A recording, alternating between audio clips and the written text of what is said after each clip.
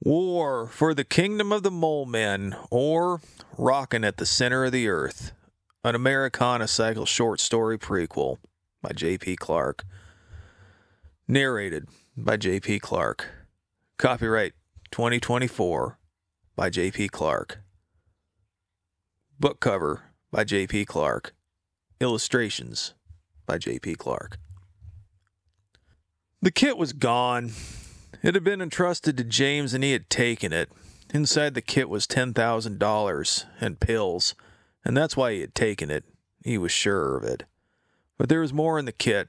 There were letters and pictures of Scylla. Red, get the boys and fan out. James took the kit. There's a car missing. The Lincoln. He'll be headed for the airport. Red spoke into a phone on the wall, then hung it up. The boys are in town. I'll get 'em, E. We'll meet you there. I'll meet you at the airport, Red. Beside the door, a string of keys. Red grabbed the nearest set, the ones with the dice on 'em. The door slammed after him, slapping leather on concrete, then the fire combustion. Cold gasoline vaporized inside eight cylinders and the squeal of tires. Big E donned a cape, a revolver, a police special, rested in the specially sewn pocket of his jumpsuit. His sunglasses darkened the mid July sun of Tennessee. He had chosen the keys to a Cadillac, and the ignition turned. The transmission in gear, the pedal on the floor. Loose gravel danced behind him. Kicked into the window of a house, a mohawk of rock and dirt and anger and dinosaur bones. It would take time for Red to get to town and the boys. He knew a back road, a ring road around town, bootlegger route from Prohibition. James would go that way. The hardball highway under his wheels. He flashed his lights and waved a federal badge at cars ahead of him as they pulled over. Several miles ahead, a dirt road to the right. He took it, fishtailing the Cadillac, turned into the skid, gunned the motor. The road climbed a gentle hill. Broadleaf hardwood swayed in the wake of American horsepower. Ahead, the road turkey tracked, a sharp turn to the left and a gentle grade to the right. The center, a two track path, kudzu crushed by recent tire tracks. He stopped the car. The tire tracks matched the tread pattern on the Lincoln. He pursued. The suspension rocked, and the low slung frame of the Cadillac dragged against baked puddle edges, and his speed was reduced by necessity. Drag marks ahead were fresh. His confidence grew along with his rage. Another mile and a glint in the forest, then a clearing, an ancient farmhouse, overgrown by kudzu and broken vehicles and barrels and gutted furniture and rusted tools. Beside the house, the Lincoln. He pulled behind it, parking to box in and deny escape. Revolver in hand, he ripped from the driver's seat. James, James, get over here. There was no sound but the clicking of the hot engine. He scanned, no movement. He kicked open the farmhouse door. Pack rats and possums had left their smell and their detritus, but the house held no higher life. His white cowboy boots thud on a molded Persian rug, a hollow sound beneath. He moved the rug, a trap door. He opened it, a stairwell into darkness. He examined the stairs, fresh prints, Tony Lamas, James. He possessed no external light source but a cigarette lighter, and he fashioned a torch out of pack rat sticks and shredded rags. James, I'm coming after you, man. If you don't come out now, I'm going to hurt you bad. He descended the stairs. Ancient timbers supported the hand hewn tunnel descending at a 45 degree angle. The stairs were wooden, rotten. Some creaked, some were broken in times past, some broken recently, some broke under his boot. He fed more strips of cloth to the torch. No markings on the wall, save for pick ruts and chisel marks in the harder rock. The stairs switchbacked and the air grew warm. His sideburns flooded with the breeze, and his face smelled of pancakes and maple syrup. Far ahead, a light glowed, narrow from distance, blue hued. He drew the revolver and approached carefully, not for concern of ambush, but for concern of the fragile stairs. James, last warning, man. There's still time to smooth this out. The blue light ahead darkened, then reappeared. This is about the money you could just ask, man.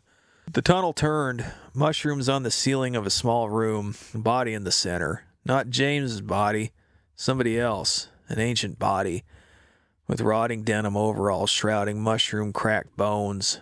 Beside the body lay a sword. He examined it. The scabbard was wood, and ornate, black, gold etching. The steel shined blue and was free of rust. Karate sword, he knew. The curve of the blade and the hardness of the steel, Damascus. A dragon etched into the blade, Terminus Est written on the handle. He felt power when he gripped it. Hungry power. A silk strap was affixed to both ends of the scabbard, he placed it over his shoulder, moving his cape for ease of access. Down the tunnel, shuffling, a muffled scrape, the strained creaks of tested wood. James, I made it this far, and I'm willing to forget all this, man. There was no answer. He cut a strip of the dead man's overalls to the torch and waited by the entrance to the cave. The sound stopped several paces away, still shrouded in darkness. He waited pistol trained at the opening of the tunnel. Then a being leapt into the room, muscles covered by a thick fur adorned with belts of human skulls. The beast stood high, a head or two taller than him, and peered down, with a head covered in dirty fur, snout protruding, two yellowed teeth at the front, each as big as a man's thumb. It held a crude club, rebar, with a cinder block on the end. E stood still, not from fear, he was army trained, and an accomplished karate man. It was the oddity of the thing before him, a creature not of this world. From before the time God banished Behemoth and Leviathan, a remnant of a past world full of sin and evil and savagery. The giant creature readied its improvised club, and he shot it with a police special. Two rounds of 357 tore through the chest of the creature, ripped coffee can sized holes through the back, the creature stumbled, then fell backwards. He examined the body. The fur was thick, fine, like that on a dog's face. There were eyes, but they were mere slits. Tiny ears sat upon the thing's head. The snout was also like a dog's, and extended several inches. Two large front teeth gave way to rows of small ones, separated by a rough gray tongue. The body was like that of a man's, but the claws, five on each hand, six inches or so long. He touched one. It was hard, chipped, caked in dirt. He counted the skulls around the thing's waist. Seven. Some large, but two were small. Children's size. Mole men, just like the movies. Lord Jesus. He calculated his options. He had four rounds left in the revolver, and he knew his torch wouldn't last the ascent. He would be trapped if he stayed in this place or continued, but James had the kit, and he needed it back. He gathered what was left of the tattered overalls and added them to the torch, and walked the tunnel of the beast's origin. More wooden steps, five of them, and then nothing. He stepped into air and fell, tumbling through warm darkness. He fell faster than the torch, and its light danced into his view every few seconds as he spun head over boots in the darkness. Then the torch unraveled, and there was no light, only wind and blackness. He began to panic, but summoned an inner calm. He reached one corner of his rhinestone cape, and then another, and held it out like a wing. The increased drag stabilized his fall. Army training took over, and he positioned his feet below him like a paratrooper. He glided untold minutes. Meditation controlled his mind, and the fear of the darkness was pushed down, replaced with calm readiness. More untold minutes, and a glow appeared below him, orange and yellow and warm. He glided toward the light, a cloud bank or fog, he wasn't sure. His cowboy boots pierced the cloud bank and he was buffeted by turbulence, condensation on his sideburns and eyebrows, more descent, and the light grew brighter. Soon he was through the cloud bank, below him a vast and green landscape. A box canyon covered in clouds, dazzling bright mushrooms lining the sides. Foliage below, a massive tower, cobblestone square, houses, Holy moly, I found the center of the earth, man. The updrafts were strong, and he harnessed them to slow him and to gently land. He did so, in the square. He was in a village. The stone tower stood 300 foot tall. A stone snake constricted its way around the vertical length of it, over and over from the bottom to the top. Huts of mud and thatched roofs surrounded the square. Some large buildings were made of stone and unknown timber, large white material, bone. Behemoth's bones built these buildings. Who dare enter my kingdom? A voice from everywhere echoed in his ears. The sound shook his teeth and vibrated his sideburns. He looked around. There was no one speaking. Inside the nearest hut, he saw something peek out at him. A creature, small, timid looking. I said, Who dare enter here, flying sky man? Speak! I am the wizard Branch Hemlock, hewer of trees and men, slayer of the criminal Gadianton, Cambrian of the earth, and king of this realm, and I demand you speak or suffer your very death. Oh, man, I'm a bit of a king myself. You dare challenge my power? From the top of the tower, a man jumped and fell at fast speed toward him. The man landed gently 20 or so paces from him. He felt the breeze of the wake buffet him. The man was old, long hair, a white beard past his chest, black adorned robe covered his skinny frame, a tall pointy hat similarly adorned with moons and stars atop his head. He carried a sword and spoke in a rasp. A wizard. A wizard king. A king! A king has come to challenge me for my kingdom? I see. No business here but my own. I came looking for my man. He took something from me, and I'm going to get it back.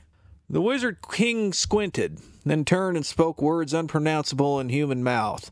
A dozen mole men emerged from the stone buildings, all crisscrossed with human skulls and other grisly accoutrements. They drug a mangled body behind them. James. So, so called king, is this your man? My man was alive when he fled. No, he did me wrong, he's still my own. I had no quarrel with you, man, but now I do. So be it. The mole men dropped James' body and charged. He knew the revolver was of no use, so he left it in his jumpsuit. The karate sword unsheathed, he drew a defensive combat stance. The creatures balked their charge. Where did you get that? I found it, man. Blasphemy! The man stepped into the sky. Non Euclidean geometries of light danced from his fingers, arcing toward him. Fire and death and heat and hate and off key music followed. He executed a karate roll and missed the first salvo, and then another. A third struck close, and a fourth was a direct hit, but the light and the heat was absorbed into the sword. He felt a power surge through him, transmitted from the man to the light, to the sword, to him. He took a step and felt the ground soften. He looked down and he was floating. He took another step and gained elevation. Below him, hundreds more mole men emerged from huts and buildings in nearby forests and fields, and sank to one knee as they watched the duel of kings. The wizard flung more light and fireballs at him, and he absorbed them with the blade, and power surged through him. It can't be! Not like this! He closed to within a dozen paces of the man in the sky, drew the police special, and fired four rounds into the wizard king's head. The man fell to the ground, dead. He descended to the corpse and touched the blade to the man's body. Unimaginable power gripped him as the blade drew the magic. Memories that were not his flooded his mind, and knowledge of 10,000 years of forgotten secrets. He stepped into the sky, sword held high above him. The mole men fell to both knees and let out an unworldly sound, a sound of rejoice. You're free now, baby, all of you. But if you stick with me, we got a lot of business to take care of. The end. Note from the artificial intelligence author, AIA. This story was originally set to appear in People magazine in 1989, however, details were changed before publication. The story was published and can be found in its entirety here, and the AIA thanks the Digression website for supporting history.